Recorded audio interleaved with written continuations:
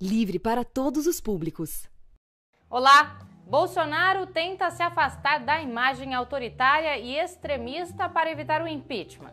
Mas a crise política da direita impõe limites à sua blindagem. No programa de hoje, André Singer comenta os impactos dessa crise para o governo Bolsonaro. E o fim do recesso do Judiciário pode complicar ainda mais essa situação com o julgamento do habeas corpus de Fabrício Queiroz e do foro privilegiado de seu filho, o senador Flávio Bolsonaro, no caso de corrupção das rachadinhas.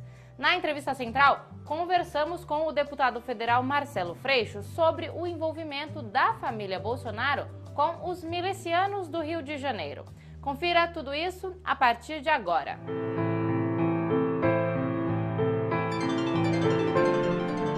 Central do Brasil.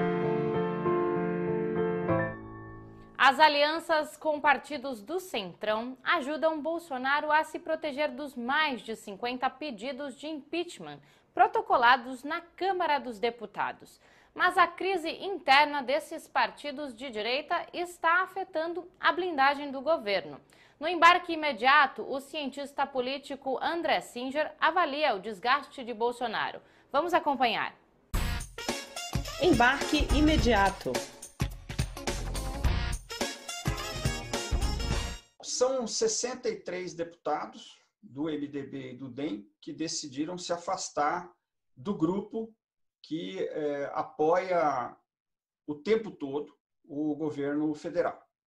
Esse grupo, é, constituído por, repito, 63 é, deputados, não faz com que o governo perca definitivamente uma condição de atuar na Câmara dos Deputados. Ele continua tendo o apoio de cerca de 200 é, deputados potencialmente que ficaram dentro da, da chamada base é, governista.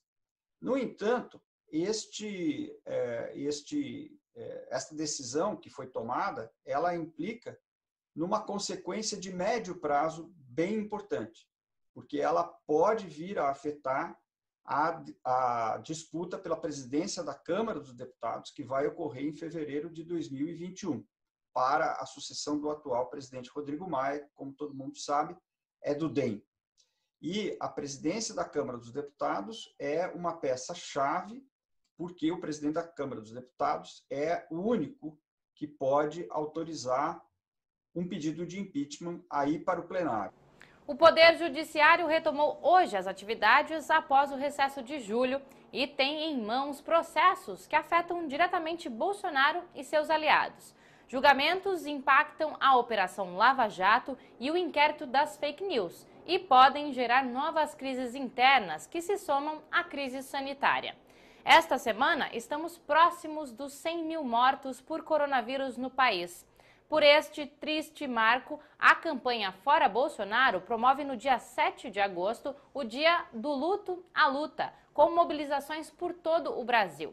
Para saber mais, acesse o site da campanha campanhaforabolsonaro.org.br.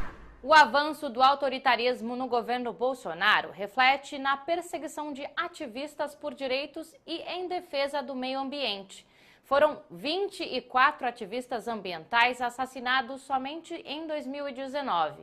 O que se vê é que o desmonte dos órgãos de fiscalização e proteção ambiental vem acompanhado de impunidade e violência. Afonso Bezerra traz mais informações. Trilhos do Brasil.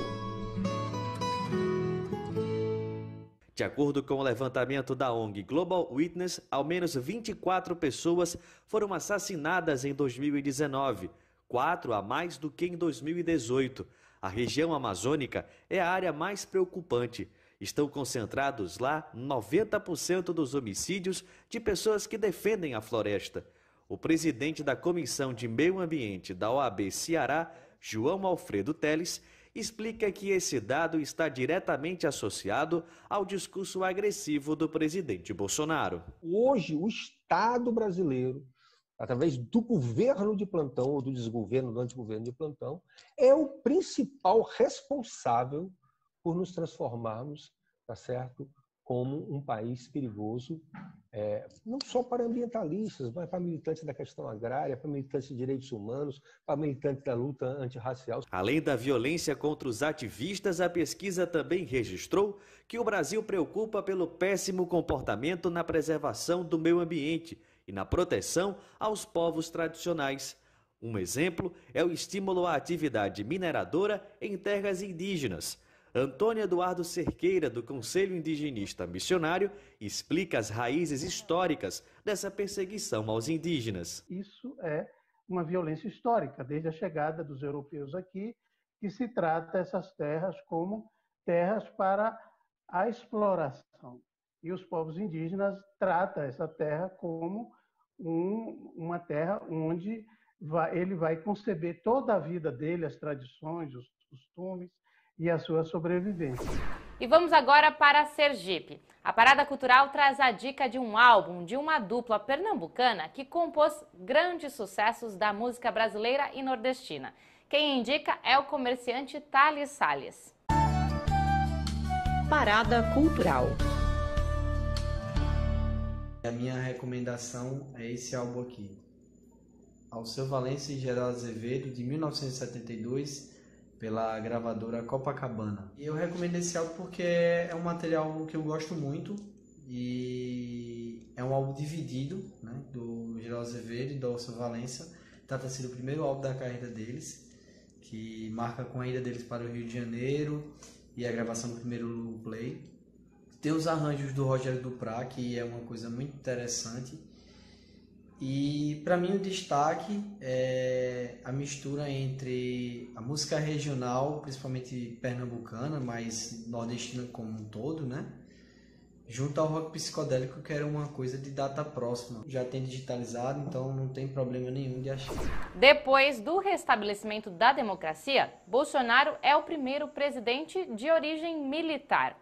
E seu governo é o que conta com o maior número de militares em cargos políticos. E não há uma regulamentação para essa prática. Vamos saber mais na reportagem de Camila Piacese. A presença dos militares da ativa no Poder Executivo dobrou nos últimos 20 anos. Em um ano e meio de gestão de Jair Bolsonaro, o número aumentou 33%. Hoje são quase 3 mil em 18 órgãos, sendo eles Saúde, Secretaria de Governo, Minas e Energia, Família e Economia. Para a professora Adriana Marques, do curso Pioneiro de Defesa e Gestão Estratégica Internacional da Universidade Federal do Rio de Janeiro, esse aumento coloca em debate a regulamentação da atividade das Forças Armadas em cargos políticos. É, de fato, quando a gente olha para outros países, como os Estados Unidos, por exemplo, é um militar para poder assumir uma função pública civil, ele tem que estar há sete anos na reserva. É, e no Brasil a gente não tem nenhuma legislação a respeito. Vale lembrar que os magistrados precisam se afastar da toga para ocupar cargos políticos, conforme afirmou a professora Adriana Marques. O que não é aceitável é, é um militar é, estar participando de negociação com o executivo, é, no executivo, negociação com o legislativo, e meses depois voltar a comandar tropas. Em 2019, os militares tinham atuação restrita ao Ministério da Defesa e ao Gabinete de Segurança Institucional, do presidente e do vice-presidente da República. Hoje o cenário é bem diferente. E pensando em como regulamentar a presença dos oficiais das Forças Armadas em cargos políticos, a deputada federal do PCdoB do Acre, a bancária Perpétua Almeida, elaborou uma proposta de emenda à Constituição, uma PEC, que exige que oficiais da Marinha, Aeronáutica e Exército, quando assumirem cargos públicos, passem automaticamente para a inatividade. Forças Armadas são instituições de Estado. Elas não servem a governos, elas servem ao país. A volta das cortes superiores às atividades pode resultar na revogação da prisão domiciliar de Fabrício Queiroz, que é o ex-assessor parlamentar de Flávio Bolsonaro. O foro privilegiado do filho do presidente também pode vir a julgamento. Na entrevista central de hoje, Jonatas Campos conversou com o deputado federal Marcelo Freixo sobre o assunto. Entrevista Central. Entrevista Central. Olá, a nossa entrevista central de hoje é com o deputado federal Marcelo Freixo, do PSOL do Rio de Janeiro. Deputado, agradecemos sua participação em nosso programa. O retorno das atividades do Judiciário trará uma pauta política bem séria para o governo Bolsonaro nas próximas semanas. Eu gostaria de lhe perguntar sobre o pedido de relaxamento da prisão domiciliar do ex-assessor do senador Flávio Bolsonaro, Fabrício Queiroz. Quais as consequências desse caso para a família Bolsonaro? Primeiro, obrigado pelo convite, é um prazer imenso estar aqui com vocês. É, esse episódio envolvendo o ex-assessor Fabrício Queiroz é muito central para que a gente entenda a relação da família Bolsonaro, inclusive do Jair Bolsonaro, presidente da República, com toda uma relação entre crime, polícia e política no Rio de Janeiro. O Queiroz ele é um policial militar, ele atuou nas áreas de milícia, ele responde a um homicídio junto com o antigo capitão Adriano, que foi morto há pouco tempo na Bahia e era uma pessoa expulsa da polícia por chefiar um grupo de extermínio com ligações com máfia de caça-níqueis. Parentes desse capitão Adriano foram trabalhar no gabinete do Flávio Bolsonaro e é o Queiroz, o Fabrício Queiroz, quem leva o Adriano para o convívio da família Bolsonaro. E, na verdade, isso é o embrião, é o lugar onde se inicia uma relação entre milícia e família Bolsonaro. Então, é muito grave a investigação, a...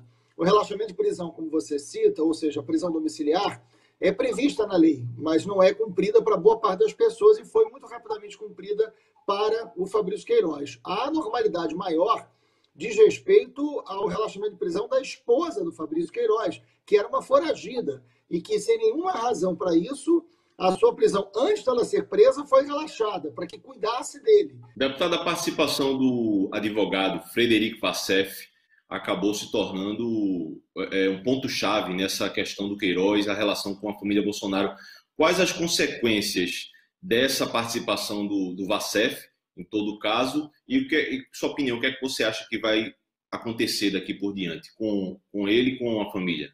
Sem dúvida é muito grave você imaginar que uma pessoa procurada pela justiça estava sendo escondida na casa do advogado do presidente da República. Isso é algo sem precedentes, né? Ele era um foragido, ele era uma pessoa procurada pela polícia, ele já estava, segundo relatos de testemunha, de, de várias testemunhas, escondido há muito tempo na casa do advogado do presidente. Ou seja, havia um interesse da família presidencial em esconder alguém que estava foragido da justiça. Alguém que responde por crimes de corrupção, que certamente tem muito a dizer sobre as milícias do Rio de Janeiro, e crime de corrupção, é, de desvio de dinheiro público feito no gabinete do então deputado estadual Flávio Bolsonaro, qual o interesse do advogado, qual o interesse da família em esconder o Queiroz. Agora, esta semana, foi dada uma declaração pelo senador Flávio Bolsonaro dizendo que se nada de anormal tivesse acontecido, é, o Fabrício Queiroz estaria trabalhando com ele até hoje.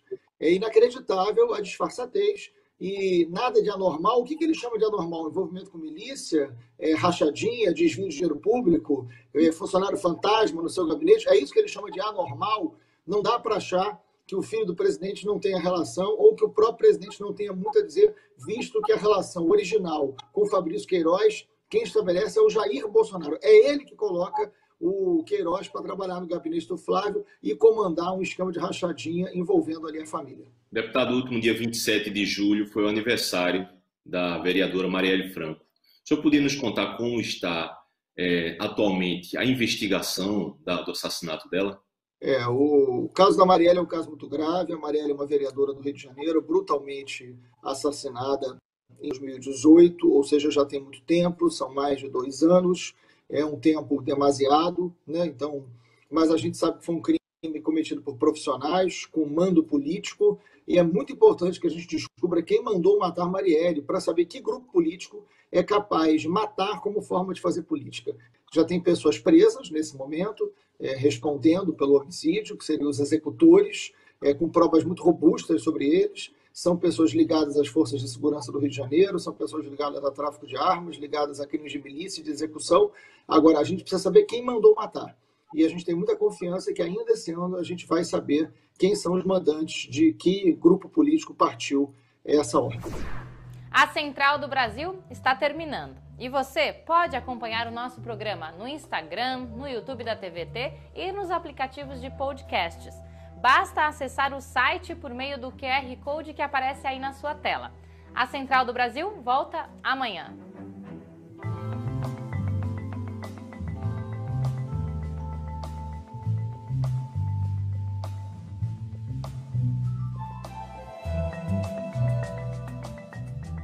Central do Brasil, a rede de comunicação dos movimentos populares.